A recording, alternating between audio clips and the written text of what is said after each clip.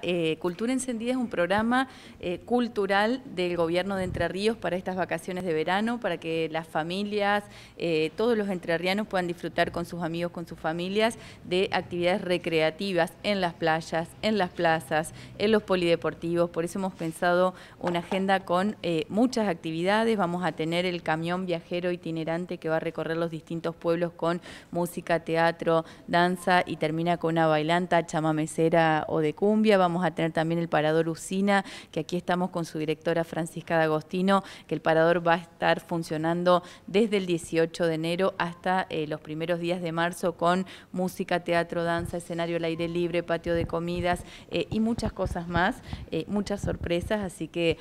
vamos a tener muchas propuestas culturales, además el cine móvil que va a estar funcionando y la gira teatral en toda la provincia. Va a estar Leonor Benedetto, va a estar Carolina Papaleo, va a estar también la obra Irene la Marca del Amor, que es una obra entrerriana que van a estar recorriendo las distintas localidades. La idea es que cada pueblo de nuestra provincia tenga una actividad cultural de cultura encendida. El gobierno de Entre Ríos apuesta a la cultura y una fuerte inversión por parte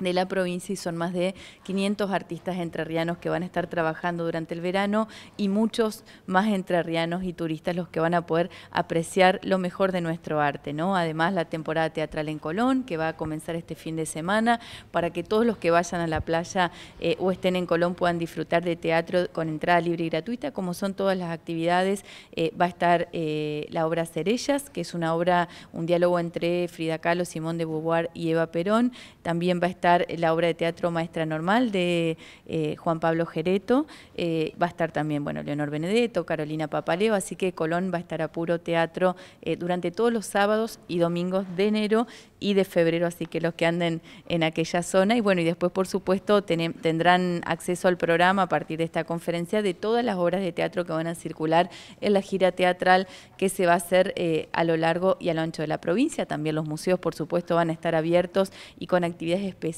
preparadas para el verano. Eh, y no me quiero olvidar de nada, la Carpa de la Moringa. La Carpa de la Moringa va a estar en Colón y en Valle María con tres funciones diarias. A partir de este fin de semana en Colón eh, va a estar durante tres semanas y luego del 10 al 17 de febrero la Carpa de la Moringa va a estar en Valle María. Así que todos los paranaenses que vayan a la playa, a Valle María o a Villa Urquiza van a poder disfrutar de las funciones de la carpa, que va a haber funciones para niños a partir de las 9 de noche y también funciones eh, para adultos 10 y media y también la trasnoche con humor, con stand-up, con números artísticos en la carpa. Así que bueno, hay muchas actividades para todos los gustos, para de todas las disciplinas y lo más importante es que todos los artistas entrerrianos van a tener su espacio para poder mostrar lo que están haciendo.